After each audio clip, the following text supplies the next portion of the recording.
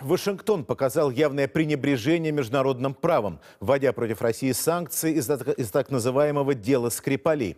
Об этом заявили в МИДе. Под вопросом и авторитет Организации по запрещению химоружия.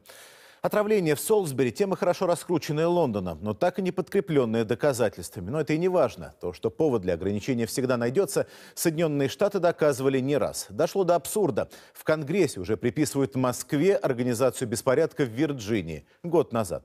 Но во всем по порядку. Павел Краснов. Тон заявления российского МИДа получился непривычно жестким. Очевидно, бесцеремонность американцев, которые, не моргнув глазом, связали новые санкции с делом Скрипалей, настолько возмутила российскую сторону, что дипломаты решили отбросить обтекаемые формулировки. В Вашингтоне ставят под сомнение полную ликвидацию российского арсенала химических вооружений. Там предпочитают игнорировать тот факт, что завершенная в прошлом году российская программа по уничтожению химоружия реализовывалась под строгим международным контролем в полном соответствии с КЗХО КЗО Конвенции по запрещению химического оружия. Такая постановка вопроса выглядит особенно лицемерной с учетом того, что сами США не спешат с уничтожением своего арсенала химоружия и остаются единственной страной-участником КЗХО, обладающей значительными запасами боевых отравляющих веществ. Дело Скрипалей, прогремевшее в марте на весь мир, оказалось настолько неоднозначным, что теперь о нем, похоже, стараются реже вспоминать даже в Лондоне. То, что Вашингтон решил вытащить его на свет, увязав при этом с очередной волной санкций наносит удар по международному режиму контроля за химоружием, убеждены в МИДе, а фактически ультиматум, предъявленный Москве, либо согласие на новые проверки, либо второй пакет санкций, как будто нарочно составлен так, чтобы Россия даже не думала о его выполнении. Вся история с э, так называемыми э, антироссийскими санкциями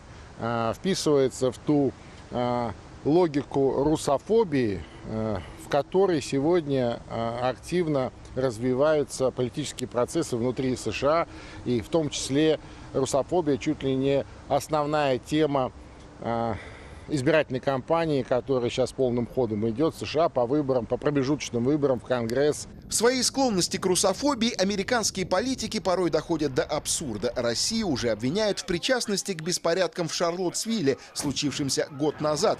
Тогда снос памятника герою гражданской войны в США привел к столкновениям между сторонниками и противниками этого решения. В свое время в интернете уже высмеивали стремление Вашингтона обвинять Москву во всех грехах. В сети появилась серия забавных картинок с подписью «Это сделали русские». Теперь политики в США дают новый материал материал для такого творчества, а одной из жертв антироссийской кампании становится президент страны, не способный выполнить обещания о нормализации отношений с Москвой. Как только Трамп искренне, я в этом уверен, пытается наладить отношения с Россией, например, последняя встреча его с Путиным была успешной, его противники в Америке немедленно контратакуют, вводят новые санкции, в том числе заставляют и его вводить.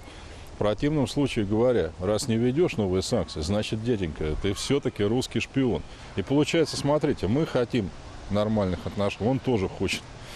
Но чем больше он этого хочет, тем хуже получается для двусторонних отношений за американской внутренней политики. Неслыханное дело. После встречи в Хельсинки конгрессмены даже пытались вызвать на допрос переводчицу, чтобы выведать у нее подробности переговоров Путина и Трампа. Американское издание Bloomberg пишет сегодня, что санкции против России не будут эффективны, если их не поддержит президент США. Вполне вероятно, Трампу ничего другого и не останется, а России придется на эти санкции ответить. Хотя все еще не ясно, как и, главное, на что отвечать. В Кремле сегодня дали понять, что ответ будет дан когда со своими действиями определятся американцы. Пока санкции были только анонсированы.